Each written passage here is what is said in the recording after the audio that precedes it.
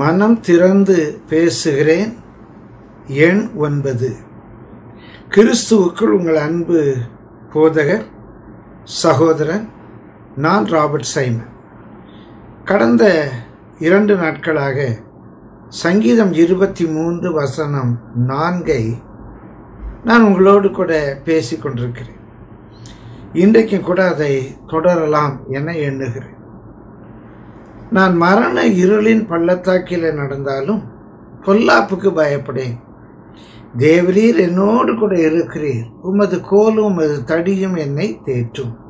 ஏ தோ ஐ walk through the valley of the shadow of death I fear no evil because for thou art with me and I rod and thy staff that comfort me பிரியமானவர்களே ஒருவேளை மூல மொழியில் இருப்பது போல நாம் தமிழாக்கம் செய்து பார்த்தால் ஆமா உண்மைதான்.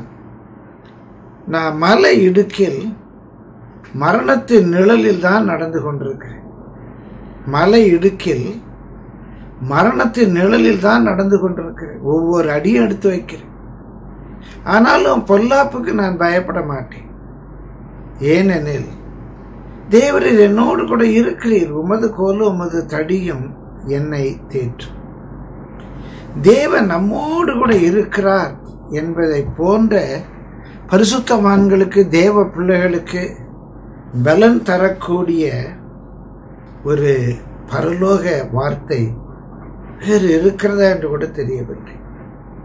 பிரியமானவர்களே ஆபிரகாம் தன் இனத்தை விட்டு பிரிந்து அந்நிய தேசத்திலே பரதேசியா சஞ்சரித்து கொண்டிருக்கும் போது தேவன் ஆபிரகாம் இடத்துல சொன்னா நான் உன்னோடு கூட இருக்கிறேன். அந்நியனாய் பரதேசியாய் சஞ்சரித்துக் கொண்டிருந்த ஈசாக்கை சத்துரு ஓட ஓட விரட்டி துரத்தும் போது தேவன் ஈசாக்கின் இடத்துல சொன்னார் நான் உன்னோடு கூட இருக்கிறேன். தன்னுடைய ஜீவன் தப்ப தகப்பனை விட்டு தாயை விட்டு இனத்தை விட்டு வனாந்திரத்தில் ஓடிக்கொண்டிருக்கும் போது அகமும் புறமும் இருளால சூழப்பட்டிருக்கும் போது அன்றைக்கு யாக்கோபை பார்த்து தேவன் சொன்னார் யாக்கோபு நான் உன் கூட இருக்கிறேன்.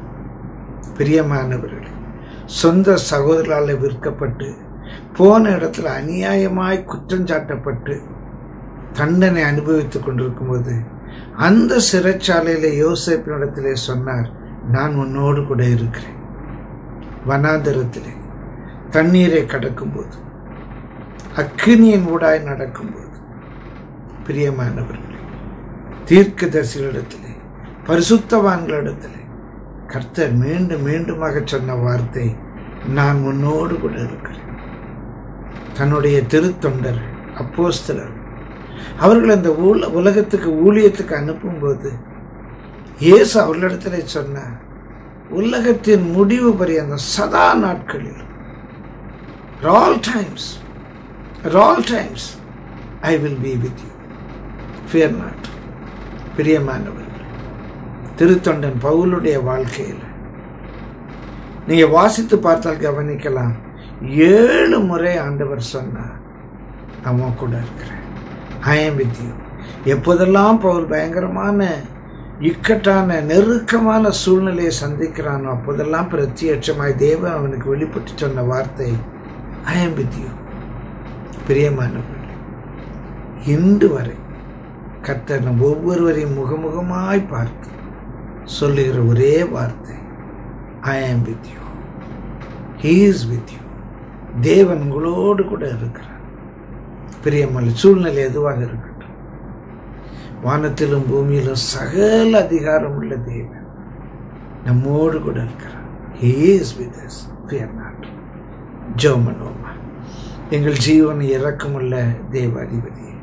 நீர் நம்முடைய பிள்ளைகளுக்கு கொடுத்த அந்த நல்ல வார்த்தைக்காக நம்ம மே ஸ்தோத்திருக்கிறோம். ஆபிரகாம் ஈசாக்கு யாக்கோபு என்னுடைய முற்பிதாக்களின் தேவன் ஐயா.